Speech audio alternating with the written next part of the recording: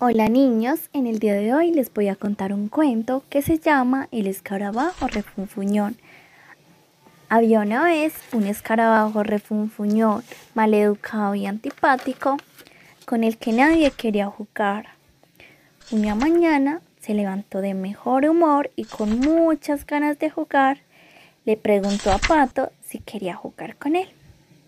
Pero Pato le dijo que no, porque ya había quedado en verse con Ganso en el puente del río para jugar a saltar en el agua. El escarabajo miró a su alrededor y vio a un topo. Sí, a un topo, y le dijo lo mismo que a Pato. Pero la respuesta fue igual, porque Topo tenía prisa, ya que había quedado en verse con ratón. Sapo, viendo que todos evitaban jugar con él, se acercó a Escarabajo y accedió a jugar con él.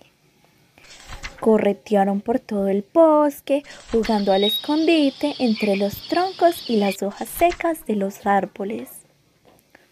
Pero a los pocos minutos, Escarabajo le insultó. Mm, y Zapito, que no había hecho ninguna trampa, se alejó muy triste y llorando de allí, sin entender nada. Todos los animales lo vieron y se apenaron mucho por Sapito.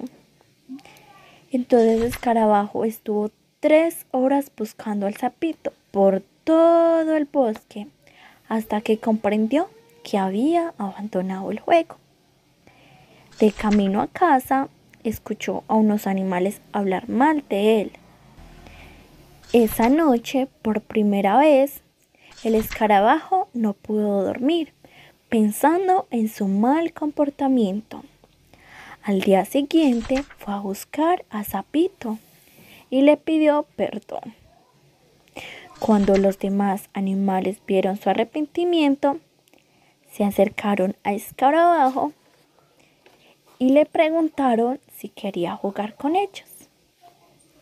El escarabajo se sintió tan bien que a partir de ese día se volvió amable, alegre y educado.